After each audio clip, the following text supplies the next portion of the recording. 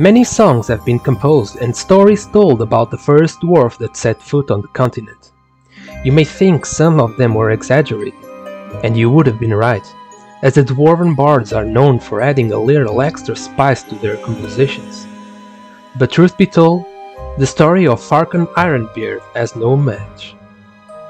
His origins remain a mystery, but all stories agree he was the first dwarf to settle on Dwaraman. His forging abilities were legendary, and it was said he added a bit of magic to his creations to make them unique. However, this was not true, at least not for all of his creations but one. His masterpiece and most prized possession was a silver hammer he forged with his own hands and was meant to be a tribute to the dwarven gods. He had spent uncountable hours polishing the hard material until it was smooth and shiny, carving precious runes on it, and creating its powerful hilt.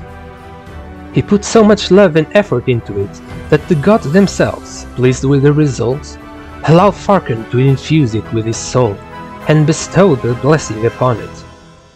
Everything that was forged using the hammer could only be broken by it. This hammer became to be known as the Hammer of Ages, and it was used to create most of the Dwaraman structures, untouched by the hand of time until this very day. His legendary abilities became so renowned that he was called upon by the mages of the distant city of Linirea.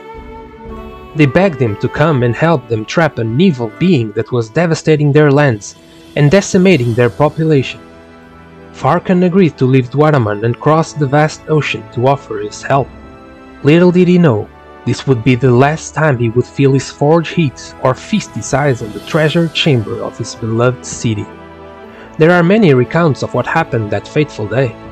Some of the witnesses talk about the bravery of the dwarf, others of his courage, but they all agree that the capture of Umbra would have been not been possible weren't for his heroism and determination.